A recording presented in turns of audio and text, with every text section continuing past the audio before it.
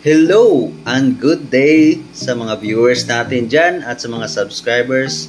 At gusto ko sana magpasalamat sa inyo sa pagpapanood nyo sa mga panibagong video natin gaya ngayon. At ito na naman tayo sa mga sa bagong video natin at gusto ko lang sanang i-share sa inyo guys kung paano ba nga ba mag-export and import script sa gamit yung Microtech natin.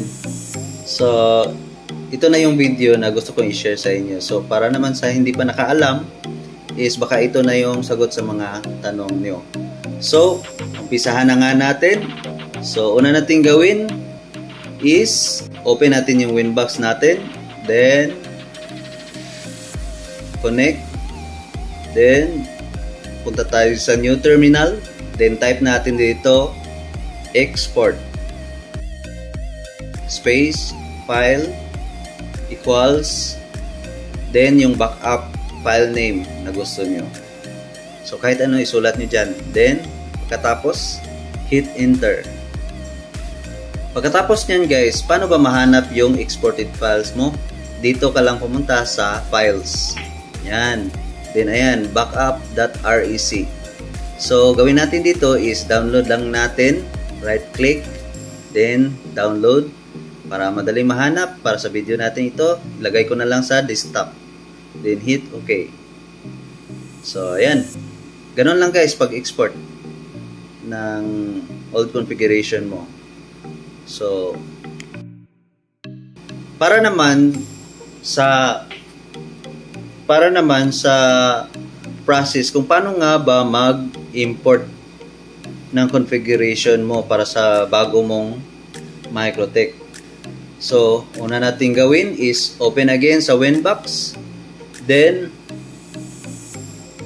if old yung Microtech mo, meron ng old configuration, so syempre, uh, i-remove muna natin. So, punta tayo sa system, reset configuration, then no default configuration, no to backup, then reset configuration,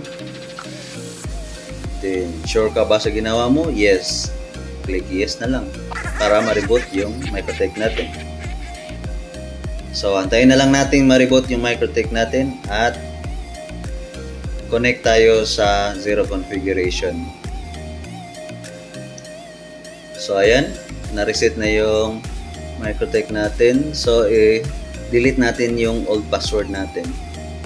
At pwede na tayong i-refresh muna natin hanapin natin ito. Click lang natin itong MAC address then click connect. Ayan. So before anything else guys kailangan nating mag input ng new password para makapasok tayo sa new terminal. Para maka-import ma-import natin yung exported files script natin. So kailangan lang nating makakonect dito. Ayan. Mag-input muna tayo ng new password. Ayan kayo na bahala kung anong password lagay niyo dyan. Then, change now. Ayan. So, pwede na natin umpisahan mag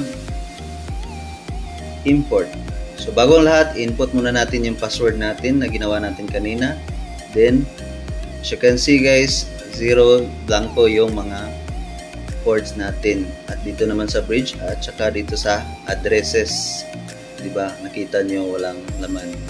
So sa ngayon is copy natin tong backup files natin. So para madali nating ma-open ito, i-replace lang natin into text file. Ayan, palitan natin yung extension niya into text file. Are you sure? Yes. Click lang natin itong yes. Ayan. So, pwede na natin i-double click at ma-open niya yan sa notepad.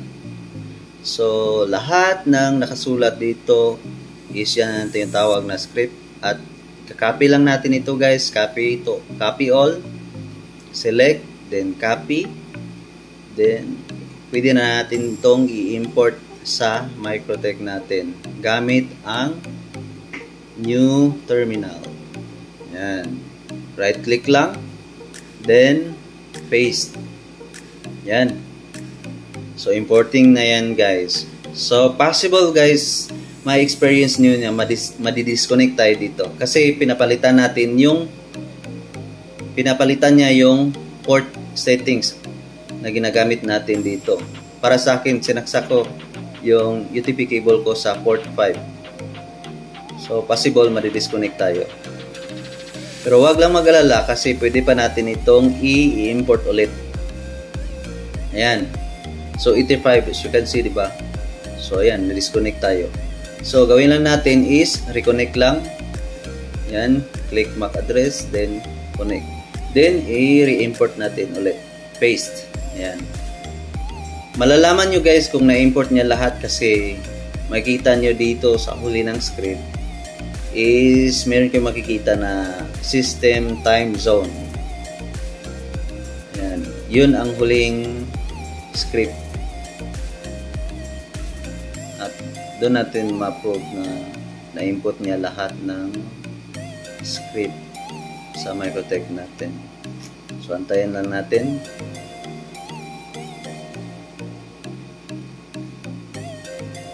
Pasensya na kayo guys kung hindi ako magaling magtagalog kasi Bisaya ako.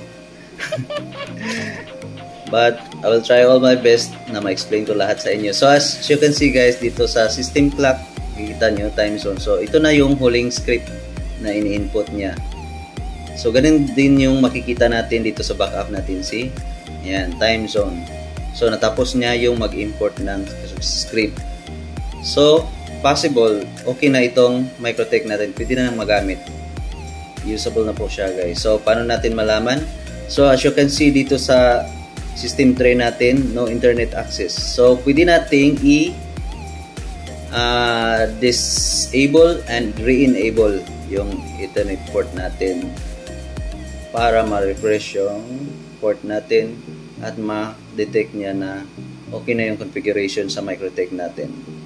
Wait lang ng konti. So, ayan, inter internet access is available. So, paano ma-prove kung meron na nga bang internet? Sana hindi pa ako naputulan ng ISP ko. Ayan, speed test tayo. Ayan. So, na-access natin yung speed test. So, globe nga pala yung internet connection ko. So, ayan.